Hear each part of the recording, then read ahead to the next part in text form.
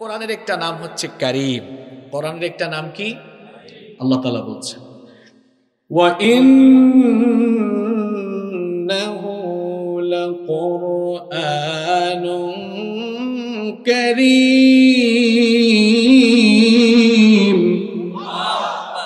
আল্লাহ তালা বলছেন, নিশ্চয়ই এটি মহা সম্মানিত কিতাব। কারিম এটা কার নাম? আবার কোরআনের নামও কারিম দিয়েছেন কি? আপনাদের মনে হয়তো প্রশ্ন আসতে পারে, কি কারণে এই কিতাবের নাম কারিম হল? এর উত্তর হলো, এই সম্মানিত কিতাবের নাম কারিম হয়েছে এই কারণে সম্মানিত ফেরেশতার মাধ্যমে, সম্মানিত মাসের, সম্মানিত রাতে সর্বাধিক সম্মানিত নবীর কাছে সম্মানিত উম্মতের জন্য এই কিতাব যিনি নাজিল করেছেন তিনি কি? এই কেমন? এই কোরআন কেমন সম্মানিত কিতাব আপনি বুঝার চেষ্টা করেন? আল্লাহর অসংখ্য ফেরেস্তা রয়েছে। অসংখ্য ফেরেস্তার ভেতরে কোরআন যে ফেরিস্তার মাধ্যমে নাজিল হয়েছে, ওই ফেরিস্তার দাম সকল ফেরেস্তাদের চাইতে কম না বেশি। আবার সারা বছরের বারোটি মাসের মধ্যে সব চাইতে সম্মানিত মাস, সেই মাসটার নাম কি? আর একটু জুড়ে বলেন। প্রশ্ন হতে পারে, কি কারণে রমবানের এই মাস? বারো মাসের মধ্যে সব চাইতে সম্মানিত মাস হলো, এর কারণ হলো এই মাসে কোরআন যিনি নাজিল করেছেন তিনি কি? সারা বছরের মধ্যে সব রাতের সম্মান একরকম নয় সব চাইতে বেশি সম্মানিত রাতের নাম হলো লাইলাতুল কদর, যেই রাত হাজার মাসের চাইতে উত্তম।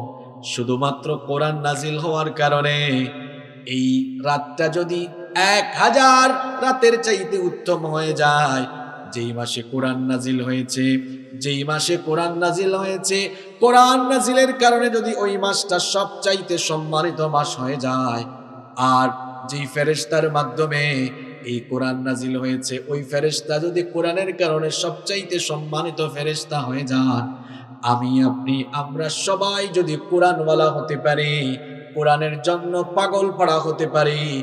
কোরআনের প্রতিষ্ঠানগুলোর জন্য আমরা যদি আন্তরিক হতে পারি, আমাদের ইজ্জত সম্মান দুনিয়া আখেরাতে যিনি বাড়িয়ে দিবেন তিনি কি? কোরআনওয়ালা মানুষ যদি আমরা হতে পারি, আমাদের ইজ্জত সম্মান কত বেশি বাড়বে শোনেন। একটা হাদিস আপনাদেরকে শোনাই। এই হাদিসটা নাসাই এবং ইবনে মাজায় বর্ণিত হয়েছে। এই হাদিসটা ইবনে মাজা এবং নাসাইতে বর্ণিত হয়েছে। হাদিস বর্ণনাকারী সাহাবীর নাম হচ্ছে আনাস বিন মালিক রাদিয়াল্লাহু আন। তিনি বলছেন, রাসূল করিম সাল্লাল্লাহু আলাইহি ওয়াসাল্লাম বলেছেন, আল্লাহ রাসূল বলেছেন, ইন্না লিল্লাহি আহলিনা মিনান নাস। নবীজি বলেছেন, মানুষের মধ্যে কিছু মানুষ, এরা হলো আল্লাহর পরিবারের অন্তর্ভুক্ত। সুমান আল্লাহ কি বুঝা কইলেন না না বুঝে কইলেন? কথাটার ওজন বুঝে নাকি ব্যাখ্যা দিচ্ছি পড়ে মানুষের মাঝে, আমরা মানুষ না অমানুষ? হায় হায়, যারা বলে না তারা কিতা একটু বলেন, আমরা সবাই কি? মানুষের মাঝে সবাই না। মানুষের মাঝে সবাই না, কিছু মানুষ, এরা আল্লাহর পরিবারের অন্তর্ভুক্ত আল্লাহ আমি এখন আপনাদের সামনে কথা বলতেছি না। নবীজিও এই কথাটা বলতেছিলেন সাহাবিদের সামনে। কাদের সামনে? সাহাবিরা জিজ্ঞেস করলেন, ওয়ামান হুম ইয়া রাসূলুল্লাহ? সবাই পড়েন, সাল্লাল্লাহু আলাইহি ওয়াসাল্লাম গো আল্লাহর রাসূল। কোন লোকদের কথা বলছেন, কারা আল্লাহর পরিবারের অন্তর্ভুক্ত, তারা আবার কারা? তাদের পরিচয় কি? আল্লাহর নবী বললেন, আহলুল কোরআনি হুম আহলুল্লাহি ওয়া খাসাতুহু নবীজি বললেন আল্লাহর কোরআন হৃদয়ে ধারণ করে কোরআন পড়ে, কোরআন বুঝে, কোরআন মেনে, কিংবা কোরআনকে ভালোবেসে, কোরআনকে হৃদয়ে ধারণ করে জীবন পরিচালনা করছে যারা আল্লাহর পরিবারের লোক। অর্থাৎ আল্লাহর সব চাইতে প্রিয় বান্দা, কাছের লোক হলো তারা। তাহলে আল্লাহর প্রিয় বান্দা হওয়ার জন্য, আল্লাহর সব চাইতে কাছে যাওয়ার জন্য আল্লাহর কোরআনকে ভালোবাসার দরকার আছে না নাই? এমন একটা হাদিস শুনেন, হয়তো জীবনে কোনোদিন এই হাদিসটা শুনেন নাই। আল্লাহর কোরআনকে ভালোবাসলে ইজ্জত সম্মান কত বেশি বাড়বে শুনেন। আমরা সবাই একদিন দুনিয়া ছেড়ে চলে যাব। কেউ এই দুনিয়াতে থাকব না। আমাদের পূর্বে যারা দুনিয়াতে এসেছিলেন, কেউ দুনিয়াতে থাকতে পারেন নাই। আমরাও এই দুনিয়াতে থাকতে পারব। সবাই আমরা চলে যাব ইসরাফিলের সিঙ্গার ফুৎকারে। কবর থেকে মানুষগুলো উঠে উঠে যখন হাসরের মাঠে গিয়ে সমবেত হবে, কেয়ামতের সেই বিভীষিকাময় দিনে সব মানুষগুলো পেরেশান থাকবে, সবার টেনশন থাকবে। এই যে আমরা এখানে কাপড় চোপড় পরে এসেছি, হাসরের মাঠে কিন্তু কাপড় নিয়ে কেউ যেতে পারবে না রে বাবা। হ্যাঁ যুবক ভাইরা ভালো করে শোনেন, কিয়ামতের দিনটা বড় ভয়ঙ্কর। নবীজি বলেছেন গরলা। কিয়ামতের দিন সকল মানুষ উলঙ্গ, খতনাবিহীন এবং নগ্ন পদে খালি পায়ে সবাই হাসরের মাঠে যাবে। আম্মা জান আয়েশা রাদিয়াল্লাহু আনহা এই কথা শুনে বললেন, নবী গো, এইরকম উলঙ্গ অবস্থায় যদি হাসরের মাঠে সব মানুষ গিয়ে সমবেত হয়, আমার কি লজ্জা লাগবে না?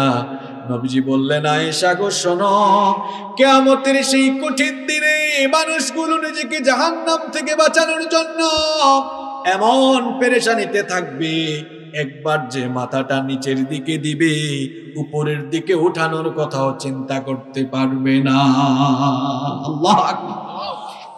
হাসরের মাঠে সব মানুষ নফসি নফসি করে জিকির করবে, কিন্তু তিন প্রকার লোক কোনো টেনশন করবে না।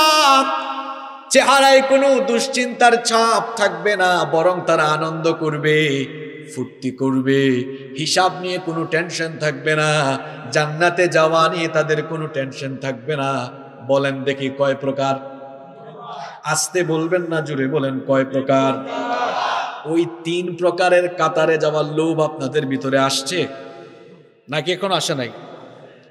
তিন প্রকার লোক, যাদের চেহারায় দুশ্চিন্তার কোনো চাপ থাকবে না। হিসাবের কোনো টেনশন থাকবে না, জান্নাতে যাওয়া নিয়ে কোনো টেনশন থাকবে না। বলেন কয় প্রকার? তপ্রাণের ভেতরে এই হাদিস বর্ণিত হয়েছে, নবীজি বলেছেন, সালাসাতুল্লাহ ইয়াউলুহুমুল ফাজাউল আকবার ওয়ালা ইয়ানালুহুমুল হিসাব। নবীজি বলেছেন, তিন শ্রেণির মানুষ কিয়ামতের দিন ভীত বিহব্বল হবে না। কোন ভয় বা শঙ্কা, কোন টেনশন তাদেরকে স্পর্শ করতে পারবে না। ওয়ালা ইয়ানালুহুমুল হিসাব, এমনকি তাদের কাছ থেকে আল্লাহ হিসাবও নিবেন না। আল্লাহ তাদের হিসাব দেখবেন না, যাচাই করবেন না। আল্লাহ বলবেন, হিসাবের দরকার নাই, যা। শুধু তাই নয়, সব মানুষ যখন দিক বিদিক দৌড়াবে, নবীজি বলছেন ওই তিন শ্রেণির মানুষ, তারা কোথায় থাকবে শোনেন? হুম আলা কাথিবিম মিম মিসকিন হাত্তা ইয়াফরুগা মিন হিসাবিল খালাইক নবীজি বলেছেন, সব সৃষ্টি যখন হিসাবের চিন্তায় পেরেশান থাকবে, এই মানুষগুলো তখন খুশি হয়ে এরকম সাধারণ কোনো টিলা নয়, মেশকে আম্বরের টিলার উপরে অবস্থান করবে।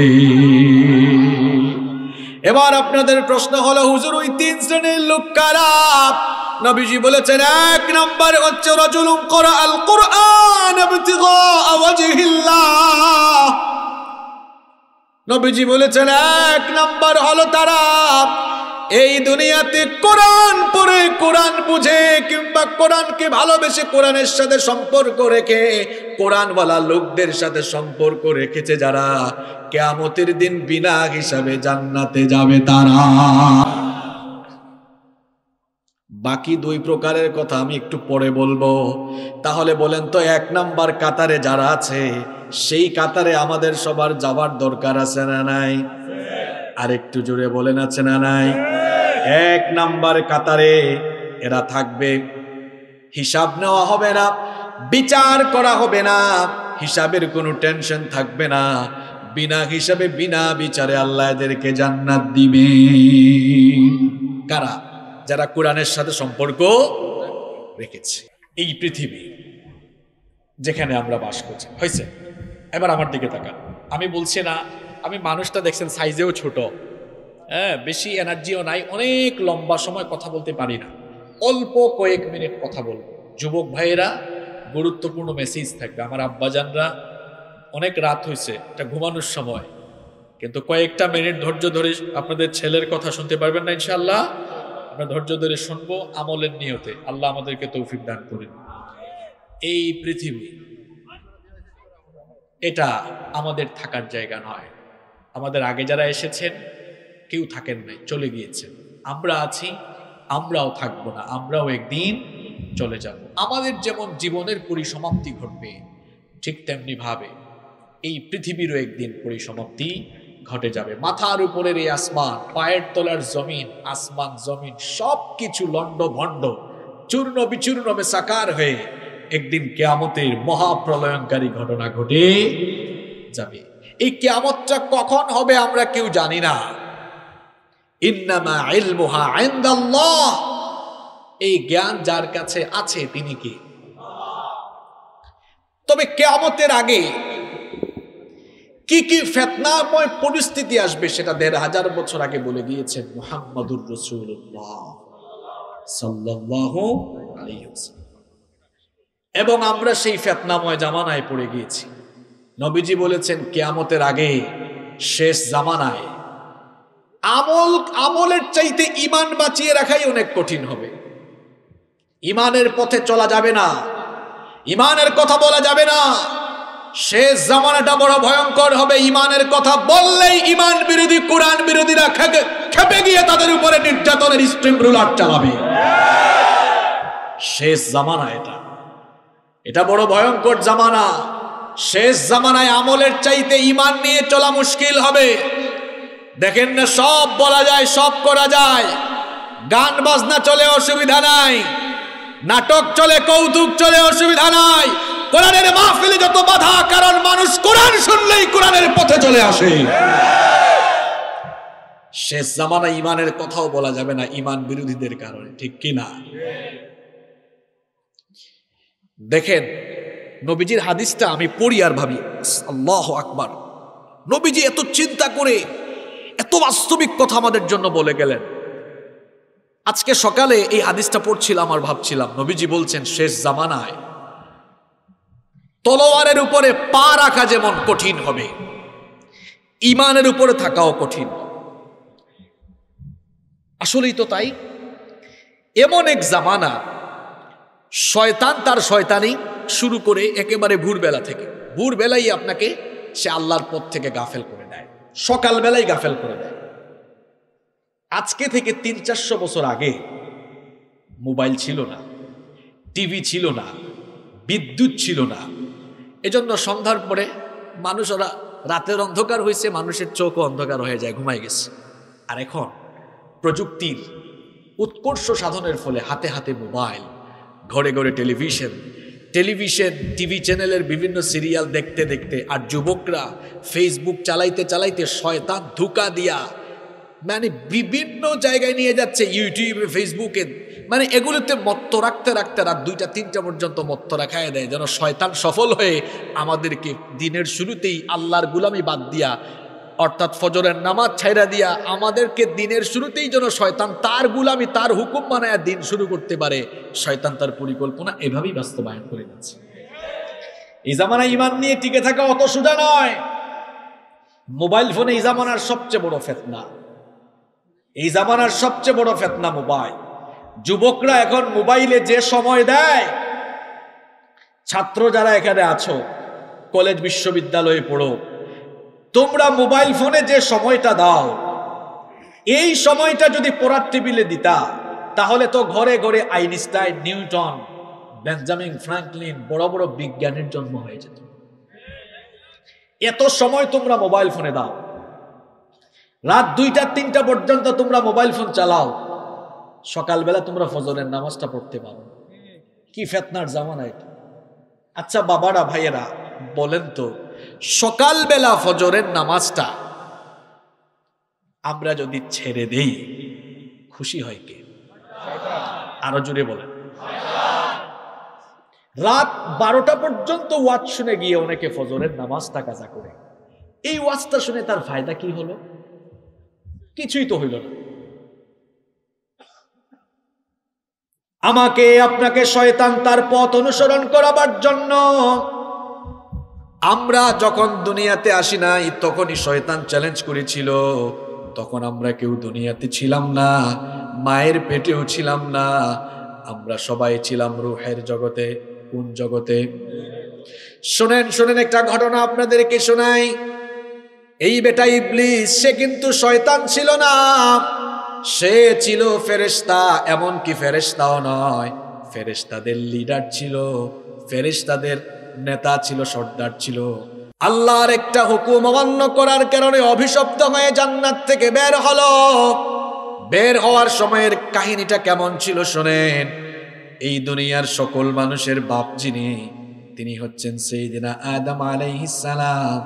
রব্বুল আলামিন আমাদের বাবা পৃথিবীর প্রথম মানুষ এবং প্রথম নবী সেইদিনা আদম আলাইহিস সালামকে আল্লাহ তার নিজের কুদরতি হাতে বানালেন। এরপরে আল্লাহ তাআলা তার ভেতরে রূহ আল্লাহ ফুকে দিলেন। এরপরে আল্লাহ সব ফেরেশতাদেরকে ডেকে বললেন, তোমরা সবাই আদমকে সাজদা দাও। সব ফেরেশতারা সাজদা দিল একজন ছাড়া। যে আল্লাহকে সাজদা দিল না, তার নাম ইবলিস। জোরে কোন, তার নাম কি? আল্লাহ তারে বললেন, কে ব্যাপার ইবলিস? তুই আদমকে সাজদা দিলি না কেন? সে তখন বলল, খলকতেনি মিন নার ওয়া খলকতাহু মিন তিন। ওগো আল্লাহ, আমাকে তুমি আগুন থেকে সৃষ্টি করেছ, আর তাকে তুমি মাটি দিয়ে সৃষ্টি করেছ। আনা খায়রুম মিন, আমি তার চাইতে শ্রেষ্ঠ, সুতরাং আমি কেন তাকে সাজদা দিব?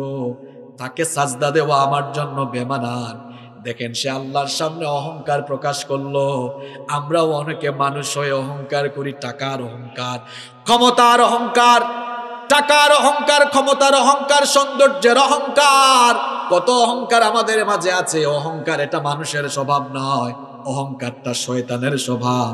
কিসের তো অহংকার আপনার? এক ফোঁটা নাপাক পানি দিয়ে সৃষ্টি হয়েছে, মাটির সাথে আবার মিশে যাবেন। এই জন্য অহংকার করা আপনার মানায় না। টাকার অহংকার করবেন না, কারণ সকাল বেলার ধনে লোকটারে বিকাল বেলা যিনি ফকির বানায় দিতে পারেন, তিনি কে? ক্ষমতার অহংকার করবেন না। আমরা তো মাঝে মাঝে ক্ষমতা পাইয়া যা মন চায় তাই বলি, মাঝে মাঝে ইসলামের বিরুদ্ধেও কথা বলিয়াছে না নাই? মনে করে সামনে পিছিয়ে পুলিশ কয় রাষ্ট্র ধর্ম নিয়ে আমরা চিন্তা করতেছি। তুমি কি চিন্তা করবা? তোমার আগে যারা চিন্তা করছে, এক থাপ্পড় খাইয়া একেবারে সে বেজ্জত হয়ে গিয়েছে। তুমি চিন্তা করবা, পুরান পাগলের ভাত নাই, মিয়া নতুন পাগলের আমদানি হয়েছে এক ব্যাকল রাষ্ট্র ধর্ম ইসলাম নিয়ে কথা বলতে বলতে এমন বিজ্জত হয়েছে, চরিত্রহীন হয়েছে। তারপরে এমন ভাবে আল্লাহ তারে বিজ্জত বানিয়েছেন, দুনিয়ার কোন জায়গার মানুষও তারে গ্রহণ করে না, মাটিও তারে গ্রহণ করে না। ঠিক কি না? এখন বা সামনে ভবিষ্যতে যারাই যে সকল পাগলারা এই বিষয় নিয়ে পাগলামি করবে, একদম জাতের বেজ্জত কিন্তু হয়ে যাবে। ইসলাম বড় সেন্সিটিভ বিষয়। ইসলামের সাথে থাকলে মর্যাদা বাড়াবেন কি? মনে রাখবেন, আপনি ছাড়াও ইসলাম জমিনে টিকে থাকবে, কিন্তু ইসলাম ছাড়া আপনি নাস্তানাবুদ হয়ে যাবেন। ইসলাম আপনার কাছে দায়বদ্ধ নয়, বরং আপনার মতো লোক ইসলামের কাছে দায়বদ্ধ। আপনাকে বাদ দিয়াও ইসলাম আপনি ইসলামের কাছে আসলেও কি, না আসলেও কি? ইসলামের কোনো ক্ষতি আছে? ইসলাম দুনিয়াতে মাথা উঁচু করে দাঁড়িয়ে থাকবে ইনশা আপনি ইসলামের কাছে না আসলে আপনার দুনিয়াও যাবে আখেরা তো এই জন্য আমাদের জীবন থাক আর যাক আমরা ইসলামের সাথে আছি। প্রয়োজনে ইসলামের জন্য নিজের জীবনকে কুরবান দিব। কারা কারা রাজি? দুহাত তুলে দেখা লিল্লাহি তাকবীর! লিল্লাহি তাকবীর! আল্লাহ কবুল করেন, হাত তুলুন আমার। তাইলে ওই যে কিচ্ছাটা মনে আছে কিনা? আল্লাহ বললেন, কিরে তুই সাজদা দিলি না কেন? কয়, আমি আদমের চাইতে শ্রেষ্ঠ, আমি কেন সাজদা দিব? আল্লাহ বললেন, দূর হ, অহংকারী ইবলিস আমার সামনে থেকে সরে যা। তুই এখন এই জান্নাত থেকে বের হয়ে যা। তোকে আমি জান্নাত থেকে বের করে দিলাম। ছিল ফেরেশ তাদের সর্দার। এবার হয়ে গেল সে শয়তানের সর্দার। কারণ আল্লাহর সামনে অহংকার প্রকাশ করেছিল। খবরদার বাবারা, ভাইয়েরা, টাকার অহংকার করবেন না, ক্ষমতার অহংকার করবেন না, অহংকার করা আমাদের মানায় না, নইলে আমাদেরকেও মানুষের কাতার থেকে শয়তানের কাতারে নেমে যেতে হবে। আল্লাহ অহংকার থেকে আমাদেরকে বাঁচায় রাখেন। ইবলিস বলল, আল্লাহ, আমাকে তুমি জান্নাত থেকে বের করে দিয়েছ, অসুবিধা নাই, কিন্তু তোমার কাছে আমার একটা আবেদন আছে। কয়টা আবেদন? আল্লাহ বললেন, বল। সে তখন বলল, সুরা আরাফের ভেতরে এই কাহিনী এসেছে। সে তখন বলল কলা আনজিরনি ইলা ইয়াউমি সে বলল, আল্লাহ, ডে অফ রিসারেকশন, পুনরুত্থান দিবস পর্যন্ত আমার হায়াতটা বাড়ায় দাও। আল্লাহ বলেন, যা, ইন্নাকা মিনাল মুনজারিন, দিলাম। সুযোগ পাইয়া ইবলিস কি করল আমার দিকে তাকান। ইবলিস বলল قال فبما أغويتني لأقعدن لهم صراطك المستقيم সুযোগ পেয়ে ইবলিস বলল আল্লাহ যে আদমের কারণে তুমি আমাকে জান্নাত থেকে বের করে দিয়েছ ওই আদম এবং তার সন্তানদেরকে সুজা পথে চলতে বাধা দেওয়া এটা হবে আমার প্রধান এবং প্রথম কাজ তাহলে আমাদেরকে দিনের পথে বাধা দেওয়া ইবলিসের প্রথম কাজ নাকি পরের কাজ? আরও জোরে। প্রধান কাজ, সে আরও বলেছিল, আল্লাহ, শোনো, তোমার এই বান্দাগুলোকে আপনি আমি কেমনে ধোকা দিব? শয়তানের কৌশলটা আপনারা বুঝেন? শয়তান তখন বলল ثم لآتينهم من بين أيديهم ومن خلفهم وعن أيمانهم وعن شمائلهم ولا تجد أكثرهم شاكرين শয়তান বলল আল্লাহ তোমার এই বান্দাগুলোকে আমি সামন দিক থেকে পেছন দিক থেকে, ডান দিক থেকে, বাম দিক থেকে, চতুর্দিক থেকে আমি তাদেরকে আক্রমণ করব যাতে তারা তোমার এবাদত ঠিক মতো করতে না পারে। আল্লাহ বললেন, যা তুইও ধোকা দে, আমার বান্দাগুলো ধোকা খাইয়া খাইয়া তারা যদি অনুতপ্ত হয়ে আমার প্রতি ফিরে আসে, ইবলিস তুইও শোন, তুই ধোকা দিয়া দিয়া জাহান নামের দরজায় নিয়ে যাবি। আর আমার বান্দা ভুলটা বুঝতে পেরে যদি ফিরে আসে, তার সব গুণা মাফ করে আমি তাকে জান্নাত দিয়ে দেব। তাহলে আমাদের প্রতি আল্লাহর দয়া কম না বেশি? আল্লাহর দয়া চান তো? শেষ জামানায় আল্লাহ দয়া পেয়ে যাব, আজকে কয়েকটা কথা বলে যাই। ইমান বাঁচানো বড় কঠিন, শয়তান আমাদেরকে সারাটা দিন রাত তার কৌশল খেলে খেলে আমাদেরকে শয়তানি পথে ধাবিত করে। এই যে মোবাইল ফোনের কথা বললাম, এখন ইমান বাঁচানো কত কঠিন হয়ে গিয়েছে। আমরা ফজরের সময় ঘুম থেকে উঠতে পারি না। ছেলে বলেন, মেয়ে বলেন, গিয়ে দেখেন সবাই খালি ফোন টিপাটিপি করে ফোনের মধ্যে ব্যস্ত থাকে। শয়তান আমাদেরকে যত বেশি রাত জাগাইতে পারে, শয়তানের লাভ আছে না নাই? আবার ছাত্র যারা, তারা অনেক রাত জেগে পড়াশোনা করে। ছাত্ররা শোনো, কখনো রাত জায়গা পড়ো না। হ্যাঁ রাত জায়গা পড়ো না। সকালবেলা বেশি পড়বা। আসো বিজ্ঞান দিয়া বুঝাই। সারাদিন যে আমরা কাজ করলাম সারাদিন কাজ করার পর সন্ধ্যাবেলায় আমাদের ব্রেন সতেজ না ক্লান্ত? জোরে বলেন। ক্লান্ত। এখন ক্লান্ত এই ব্রেইন। যুবকরা ডাউনলোড বুঝো না, ডাউনলোড। ইনস্টল বুঝো না। তা এই ক্লান্ত ব্রেইনে ডাউনলোড, ইনস্টল কম হবে না বেশি হবে? কম হবে। বিজ্ঞানীরা বলছেন, আমরা যখন রাতের বেলা ঘুমায় যাই, আমাদের ক্লান্ত এই ব্রেইনটাকে সতেজ বানায় দেন কি? সকালবেলা আমরা যখন ঘুম থেকে উঠলাম, ফজরের নামাজটা পড়ে, এরপরে ফজরের বাতাসটা গায়ে লাগাইয়া পড়ার টেবিলে বসে যদি, তখন পড়া মুখস্থ হবে কম না বেশি। ওয়াইফাই চিনেন না আপনারা? একটা ওয়াইফাই যদি বিশ জনে চালায়, স্পিড কম না বেশি? একটা ওয়াইফাই যদি একা একজনে চালায়, স্পিডটা তখন? ঠিক তেমনি ভাবে আপনি যখন সারা রাত ঘুম থেকে উঠে ফ্রেশ ব্রেইন নিয়ে পড়ার টেবিলে বসবেন। একটা ওয়াইফাই যখন ইনটেক থাকে, কেউ ব্যবহার করে না। ওইটাতে ওইটাতে, ওইটা ব্যবহার করলে যেমন ডাউনলোড বেশি হয়, ঠিক তেমনি ওই সকালবেলা ইনটেক ব্রেন নিয়ে পড়ায় বসলে রাতের একটা, দুইটা পর্যন্ত জেগে থাইকা যে পড়াশোনা হয়, সকালবেলার তিন ঘণ্টার পড়াশোনা এর চাইতে আরও এক হাজার গুণ বেশি হয়। যেন ছাত্র ভাইরা যারা কলেজ বিশ্ববিদ্যালয়ে পড়ো, রাতে বেশি পড়বা না সকালে বেশি পড়বা? রাত আল্লাহ দিয়েছেন ঘুমানোর জন্য, তাড়াতাড়ি ঘুমায় যেতে হবে। নবীজি এশার নামাজের পরে জাগতেন না, ঘুমিয়ে যেতেন। আর আমরা এখন নবীজি সব সময় এশার নামাজের আগে খাবার খাইতেন, আমরা এশার পরে খাবার খাই। খাবারটা খাইতে হবে নামাজের আগে, কারণ ক্ষুধা পেটে নামাজে মন বসে। মন অন্যদিকে চলে যেতে পারে। আর তাছাড়া অনেকের পেট আছে না, পেট? বলেন তো, কোনো নবী রাসূলের কি ভুঁড়ি ছিল নাকি? আরও জোরে। শোনেন, কোনোদিন ভুড়ি হবে না, আজকে একটা সুন্নত শিখাই যায় পেট বাড়বে না। বলব? এশার নামাজের আগে খাবেন, খায়া তারপরে এশার নামাজটা পড়বেন, তারপরে সুন্নত পড়বেন, এরপরে ঘুমায় যাবে, এরপরে পারলে আপনি আরও কিছু নফল নামাজ পড়বেন, অথবা এরপরে হাঁটাহাঁটি করে ঘুমাবেন। রাত বারোটা দুইটার সময় উঠে আপনি তাহাজ্জুদের নামাজ শুরু করবেন। দেখবেন এই এই সুন্নতটা পালন করবেন, সারা জীবনে কখনো বুড়ি হবে না। কারণ আপনি আগে খাইয়ে ফেলছেন, খাইয়া দিয়া নামাজ শুরু করে দিচ্ছেন বুড়ো, আর বুড়ি বাড়ার কোনো সুযোগ আছে? নবীর সুন্নতের ভেতরে কল্যাণ আছে না নাই? তাইলে বলছিলাম, রাত জাগা যাবে না, তাড়াতাড়ি ঘুমাতে হবে। ফজরের নামাজটা যেন কাজা না হয়। আল্লাহ দিনের শুরুটা দিলেন এমন ভাবে দিনের শুরুতেই যেন আমরা আল্লাহকে সাজদা দেই। এই জন্য দিনের শুরুতে আল্লাহ নামাজ দিলেন। এই দিনের শুরুতেই যদি আমরা গাফলতি করে কাটাই, আমরা যদি নামাজ আদায় না করি, তাহলে বললেন তো দিনটা খুশি করলাম, কারে খুশি কইরা? আল্লাহ কেন শয়তানকে?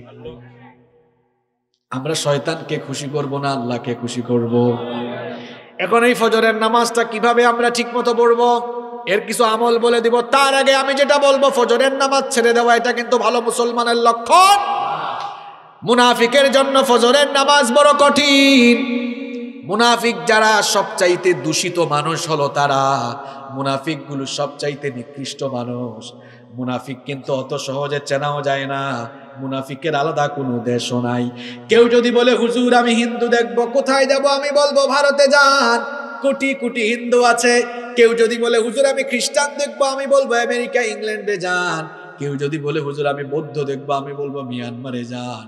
কিন্তু কেউ যদি কই হুজুর, আমি মুনাফিক দেখতাম, কোন দেশে যাইতাম?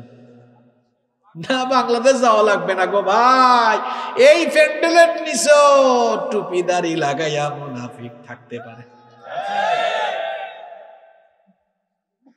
কারণ মুনাফিকের কপালে মুনাফিক লিখা নাই। মুনাফিকের পিঠের মধ্যে মুনাফিকের সাইনবোর্ড। মুনাফিক চিনবেন তার স্বভাব দিয়ে। বলেন তো মুনাফিক চিনবেন কি দিয়ে?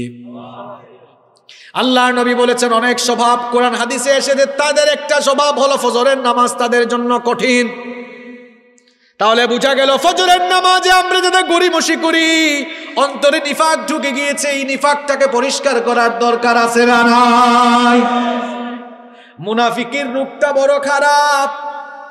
কেউ যদি ক্যান্সারে আক্রান্ত হয়ে দুনিয়া থেকে চলে যায়, সে জাহান নামে যাবে এমন কথা কেউ কি বলতে পারবে নাকি? আসতে বলবেন না জুড়ে বলেন।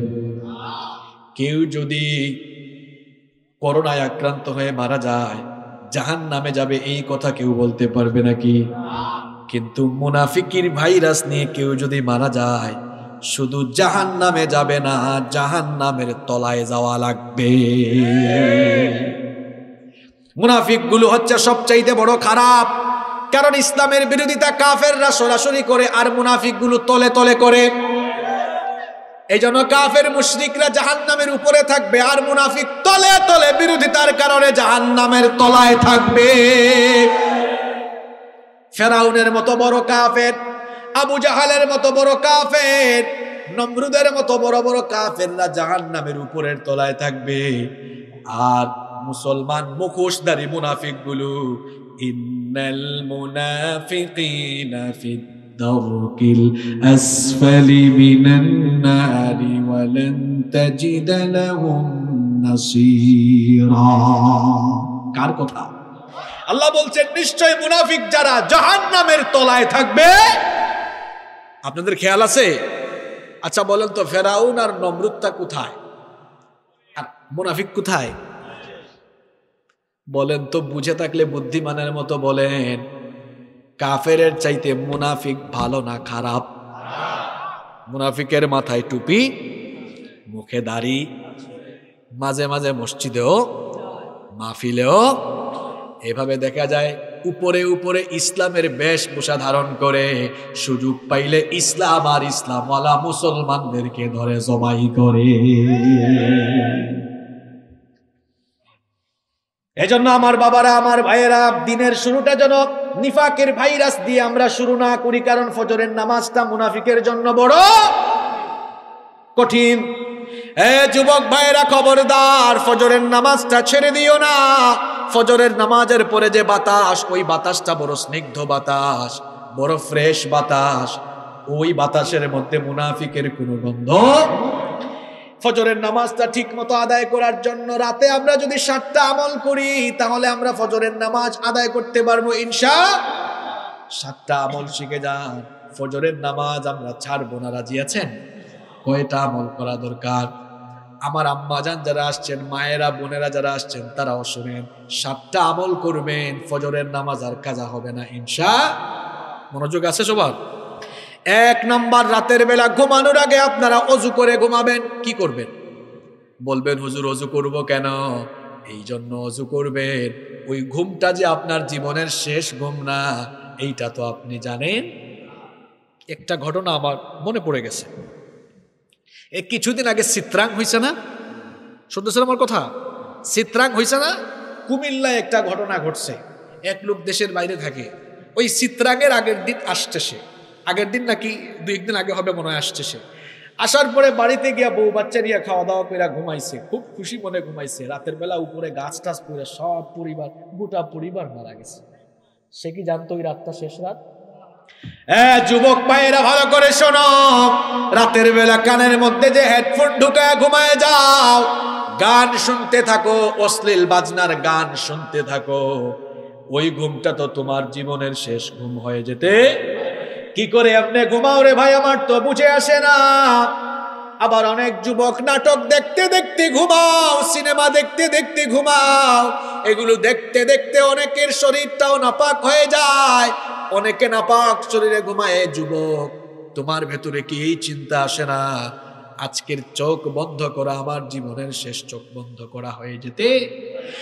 কে কখন চলে যাব আমরা জানি না রে ভাই। হাতের মধ্যে মোবাইল থাকলে গোটা দুনিয়ার খবর নেওয়া যায়। গোটা দুনিয়ার খবর কয়েক সেকেন্ডে নেওয়া গেলেও আমরা তো কেউ জানি না আমাদের কার জন্য কাফনের কাপড় এসে দোকানে রেডি হয়ে আছে। হ্যাঁ কলিজার টুকরা যুবক ভাইরা শোনো কেন না পাক শরীরে ঘুমাও, তোমার ভেতরে কি আল্লাহর ভয় নাই? বলেন তো, যে ব্যক্তি না পাক থাকে, তার সাথে ফেরেস্তা থাকে না শয়তান থাকে? যে ব্যক্তি না পাক থাকে, শয়তান তার বন্ধু। না আল্লাহ তার বন্ধু? তাহলে শয়তানের বন্ধু হওয়া তো উচিত নয়। হেডফোন লাগায় কি শুনে শুনে ঘুমাও।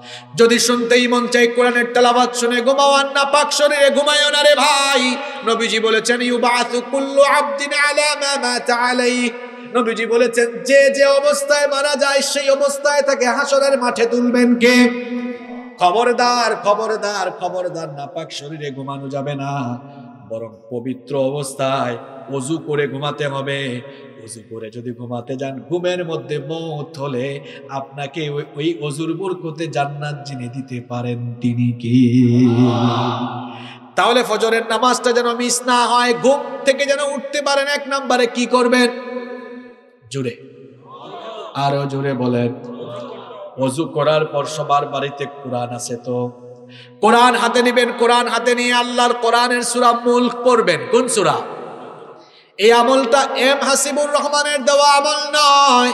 নবীজি বলেছেন, যে ব্যক্তি রাতের বেলা ঘুমানোর আগে সুরা মূল পরে ঘুমায়, ওই রাতে যদি সে মারা যায়, আল্লাহ তার কাছ থেকে কবরে হিসাব না নিয়ে তারে জান্নাত দিয়ে দিবেন। তাহলে সবাই আমরা সুরা মূল পড়ব তো? বড় সুরা না ছোট সুরা এটা? না না একদম ছোট, তিরিশ আয়াত মতো। কত আয়াত? বড় না ছোট? খুব ছোট সোরা পড়বেন তো। যুবকরা মোবাইলে অ্যাপস আছে না? ফেসবুক চালায় ঘুমায় না। রাতের বেলা সোরা মূল ওপেন করো, পড়তে পড়তে ঘুমায় যাও। কয়টা আমল বললাম? এক নাম্বার, জোরে বলেন। দুই নাম্বার। তিন নাম্বার আয়াতুল কুরসি পড়বেন। আয়াতুল কুরসি পরে নিজের শরীরে ফু দিবেন অনেকে ঘুমাইলে বুবাজিনে ধরে আসে না নাই? আয়াতুল কুরসি পড়বেন। চার নাম্বার, অনেক মহিলারাও বলে, হুজুর, ঘুমাইলে দেখি শরীরে ব্যথা করে, মনে হয় জিন ভূতে ধরে। তিনটা কুল পরে ঘুমাবেন, কয়টা কুল? কুল হুয়াল্লাহু আহাদ, এই সূরা, কুল আউযু বিরাব্বিল ফালাক, এই সূরা, কুল আউযু বিরাব্বিন নাস, এই তিনটা সূরা পড়বেন, নিজের শরীরে ঝাড়ফুঁক করবেন। চার নাম্বার আমল পাঁচ নাম্বার আমল হলো, মনে আছে তো সবগুলা? কয়টা বলছি? আরও জুড়ে বলেন। পাঁচ নাম্বার আমল হলো সৈয়দুল ইস্তেকফার করবেন। সৈয়দুল ইস্তেকফার করা দরকার, কারণ সারাদিন আমাদের মনের অজান্তে অনেক গুণা আছে না নাই? আমরা শুধু পরচর্চা করি, পরের সমালোচনা করি, আত্মসমালোচনা করি না, অথচ ঘুমানোর আগে সবার আত্মসমালোচনা করা দরকার। সুযোগ পাইলে এ খারাপ, সে খারাপ। মানুষের তো গন্ধ খুঁজেন কেন? আপনি নিজের শরীরে আরও গন্ধ বেশি। অর্থাৎ নিজের মধ্যে আরও দেখেন খুঁজে খুঁজে। অনেক বদামল আপনার মধ্যেও থাকতে পরের সমালোচনা করবেন না, নিজের সমালোচনা করেন, নিজের চরকায় তেল দেন। রাতে ঘুমানোর আগে আত্মসমালোচনাটা কেমনে করে? দেখাই আপনাদেরকে। দেখতেছেন সবাই? রাতে ঘুমানোর আগে ভাববেন, আহা আজকে তো পাঁচ ওয়াক্ত নামাজের মধ্যে, তিন ওয়াক্ত জামাত পড়ছি, দুই ওয়াক্ত পড়তে পারলাম না, হারে। তা তো সাতাশ গুণ সব পাইলাম আগামীকাল থেকে পাঁচ ওয়াক্তের পাঁচ ওয়াক্তই জামাতে পড়ব। এটা পরের সমালোচনা হচ্ছে না নিজের সমালোচনা? আরও জোরে বলেন। হায় হায় হায়, আজকে তো কোরআন তেলাওয়াতে একটু কম করছে আর একটু করলে ভালো হতো। আগামীকাল থেকে করব ইনশাল্লাহ পরের সমালোচনা না আত্মসমালোচনা? আরে, এই যে রাস্তা দিয়ে চলার সময় এক ভাইরে গাল বাঁকা করে কথা একটা বলে ফেলছিলাম মানে রাগ করছে, একটা ফোন দিয়ে দিই। ফোন দিয়ে তার সাথে সুন্দর করে কথা বলে সরি বলে ফেলি। পরের সমালোচনা না আত্মসমালোচনা।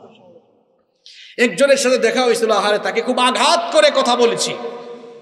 ফোন দিয়ে তার সাথে কথা বললাম, মাফ চাইলাম। পরের সমালোচনা না আত্মসমালোচনা? আমরা বলেন তো, পরের সমালোচনা বেশি করি না আত্মসমালোচনা বেশি করি? পরের সমালোচনা চরিত্র ধ্বংস করে, আর আত্মসমালোচনা চরিত্র উন্নত করে। রাতের বেলা আত্মসমালোচনা করে ইস্তেকভার করবেন, কারণ আমার নবী যার জীবনে গুড়াগের ছিটা ফুটা নাই, যিনি আল্লাহর পরেই যার মর্যাদা, তিনি বুখারির বর্ণনা সত্তর বার, মুসলিম শরীফের হাদিস একশো বার তোবা করতেন কার কাছে? আপনি তোবা করেন কয়বার? একবারও তো করেন না। অথচ আমার, আপনার সারাদিন গুণা আছে না নাই? রাতের বেলা ঘুমানোর আগে সৈয়দুল ইস্তেকফার করবেন। নবীজি বলেছেন, সৈয়দুল ইস্তেকফার পরে বান্দা যখন ঘুমাতে যায়, ঘুমের মধ্যে তার যদি মৌত হয়ে যায়, আমি তার বিনা হিসাবে জান্নাত দিয়ে দেব। কয় নাম্বার আমল? মনে আসেনি এক নাম্বার অজু, দুই নাম্বার সুরা মুলক, তিন নাম্বার আয়াতুল তিন নাম্বার কয়টা কোল? তিনটা কোল। এরপরে পাঁচ নাম্বার হলো সৈয়দুল ছয় নাম্বার। ছয় নাম্বার হলো ঘুমানোর আগে আল্লাহকে এটা বলবেন, আল্লাহ, তোমার নামে ঘুমাচ্ছি, তুমি আমাকে ফজরে জাগায় দিও। আল্লাহ কি জাগায় দিবে না? সাত নাম্বারে দোয়াটা পরে ঘুমায় যাবেন আল্লাহ বিস্মিকা আমুতু। বলবেন, আল্লাহ, তোমার নামে ঘুমাচ্ছি, আল্লাহর নামে ঘুমাইলে জাগাইয়া দেওয়ার দায়িত্ব হয়ে যাবে কার? এই আমলটা করে ঘুমায়েন। আল্লাহর কসম আল্লাহর কসম আল্লাহর কসম। ফজরের এক ঘণ্টা আগেও ঘুমাইলে আপনারে ফজরের সময় যিনি তুলে দিবেন তিনি কে? শয়তানি অবস্থায় ঘুমায়ও না, যুবকদেরকে বলছি, হেডফোন লাগায়, গান শুনতে শুনতে ঘুমায়ও না। কারণ এমনিতেই রাতের বেলা শয়তান আমাদেরকে ঝাড়ফুক করে। ঝাড়ফুক চেনেননি চিনেননি রাতের বেলা যখন আরও জোরে। তিনটা গিরা লাগায় শয়তান বলে, তুই ঘুমা রাত অনেক লম্বা। ঝাড়ফুক করল। কয়টা গিরা লাগাইছে? আরও জোরে। আল্লাহ নবী বলেছেন, ফজরের সময় আর দেখবেন ফজরের সময়ের ঘুমটা আরামের নাকি বেআরামের? সারা রাত ঘুম আসে না। ফজরের সময় কি আরামের ঘুম রে ভাই? ভাঙতেই চায় না।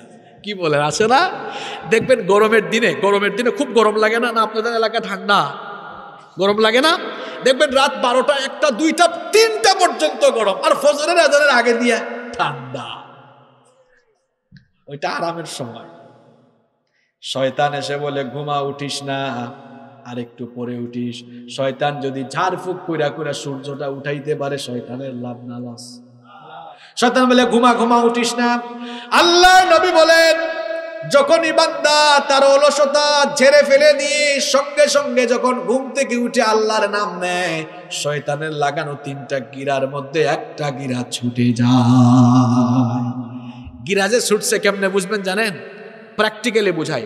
বিছানা থেকে উঠার পরে দেখবেন, আপনি শুধু বলেন শীত কম্বলটা ফেলে দিয়ে উঠে দেখেন, দেখবেন শরীর হালকা হয়ে গেছে, কোনো শীত লাগতেছে না। নিজেই বুঝবেন যে একটা গিরা ছুটে গেছে। বাকি আছে কয়টা? আরও জোরে। অজুতে যখন যাবেন, অজু যখন করবেন, সঙ্গে সঙ্গে আরেকটা গিরা যিনি ছুটায় দিবেন, তিনি কে? দেখবেন আরেকটু হালকা লাগতেছে। শয়তান দেখতেছে, সে আস্তে আস্তে পরাজিত। ফুটবল খেলা দেখছেন না?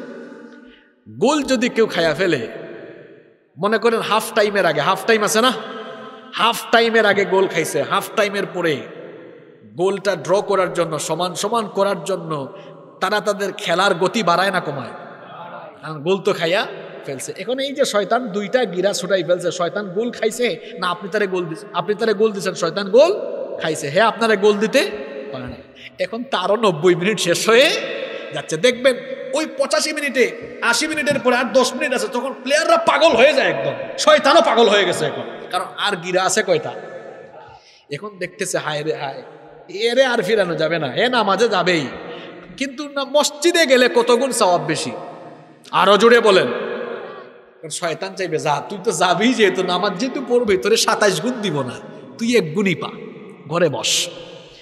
এই জন্য কি বলবে? যাইস না যাইস না ঠান্ডা। দেখবেন মনের ভিতরে একটা ভাব আসে, আজকে কি যাব ঠান্ডার মধ্যে? না বাসায় বসে পড়ে ফেলে যদি জ্বর উঠে যায় বৃষ্টির দিনে শয়তান বলে যাইস না বৃষ্টি আছে ঘরের ভিতর পুরা ঘুমাই যা। হ্যাঁ গরমের দিনে বলবে, সারা রাত ঘুমাইতে পারিস নাই। গরমের জন্য যে ঠান্ডা এখন। হুজুর যে লম্বা নামাজ পড়বে, ফজরের নামাজ লম্বা না ছোট? দরকার নাই যাইস না। এই যে শয়তান যদি এইরকম ধোকা দিয়ে আটকাইতে পারে, আপনার জামাতের সওয়াব থেকে সে বঞ্চিত করে আল্লাহ নবী বলেছেন, যখনই সে মসজিদের উদ্দেশ্যে রওনা দেয়, তখনই শয়তানের তিন নাম্বার যে গিরাটা আছে, ওইটাও ছুটে দেয় শয়তান গুল খাইছে কয়টা? কয়টা? তিন শূন্যতে খেলা জিতছে কে? মুসল্লি। জিতছে কে? হারছে কে? আর যদি ঘুমায় থাকেন, গোল খাইছে কে? হ্যাঁ যুবকরা, কথা বলো, গোল খাইছে কে? মুসল্লিও নাই, হে তো নামাজ নাই। হে খাইছে গোল, জিতছে কে? কারা কারা আজকে থেকে শয়তানরে গোল কারা কারা আজকে থেকে শয়তানরে জিতাবো হাত তোলেন? এই আল্লাহর কুতুব কয়েকটা। আরে বাপরে। না বুঝা তুলছে, অসুবিধা নাই। শোনেন, আমরা কোনো মানুষ ভুল করলে হাসি। আল্লাহ, ভুল করলে হাসেন না। বলে, নাই, মাফ চা, মাফ করে দিব। এটা হচ্ছে আল্লাহর সাথে আমাদের পার্থক্য। দুনিয়ার মানুষ অপরাধী খুঁজে শাস্তি দেওয়ার জন্য আর আল্লাহ অপরাধী তালাশ করেন, মাফ করে জান্নাত দেওয়ার জন্য। আমার আল্লাহর দয়া কম না বেশি? আল্লাহ, তুমি দয়ার সাগর রহমানুর তোমার দয়ায় পূর্ণ আমার সারা নিশিদিন তোমার দয়ায় পূর্ণ আমার সারা নিশিদিন দয়া বেশি কার? আরও জেনে বলেন, কার? তাইলে ফজরের নামাজটা যদি আমরা এই কায়দায় শয়তানরে গুল খাওয়াইয়া আমরা যদি আল্লাহকে গিয়া সাজদা দিতে পারি, খুশি হয়ে যান যিনি তিনি কে? আর যখন ফজরে ঘুমায় থাকি, খুশি হয়ে যে তার নাম কি? শেষ জামানায় ইমানটাকে বাঁচিয়ে রাখা বড় কঠিন, শয়তানের কাছে নিজের ইমানটাকে বিক্রি করে দিবেন না। দিনের শুরুতে ইমান হারা হবেন না। কারণ যার মধ্যে নামাজ নাই, তার মধ্যে ইমান নাই বলেছেন মুহাম্মদ সাল্লাল্লাহু এখানে যদি শোনেন, এটা বোঝানোর জন্য বলতেছি, মাথা কাটা, মাথা নাই। মাথা ছাড়া যদি একটা দেহ লটকানো থাকে, এটা কে? তার পরিচয় পাওয়া যাবে নাকি? মাথা ছাড়া শুধু দেহ দিয়ে যেমন কারও পরিচয় নির্ণয় করা যায় না, ঠিক তেমনি নামাজ ছাড়া মুসলমানের পরিচয়ও নির্ণয় করা যায় না। বাইনাল আব্দি ওয়াল কুফরি তার কুসলা আল্লাহর বান্দা আর কাফেরের মাঝে পার্থক্য হলো নামাজ। খবরদার খবরদার খবরদার, শয়তানের কাছে ইমান হারা হয়ে যাবেন না। প্রযুক্তির অপব্যবহার করে শয়তানের কৌশলকে জিতিয়ে দিবেন না। এজন্য তাকুয়ার অবলম্বন করবেন শেষ জামানায়। আমল করার চাইতে ইমানটা বাঁচিয়ে রাখা জরুরি। ইমানটা কেমনে বাঁচাবেন শুনেন? এখন তো সবার হাতেই ফোন আছে, মা বোনদের হাতেও ফোন আছে।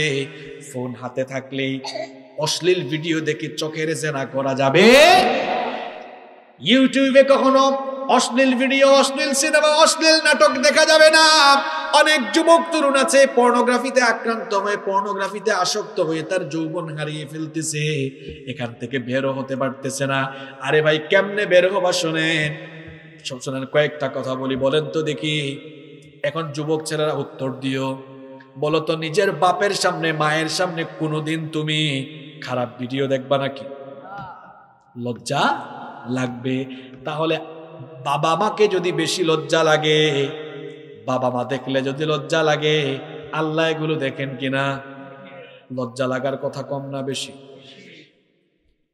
বাবার সামনে কোনোদিন এরকম তাকায় তাকায়া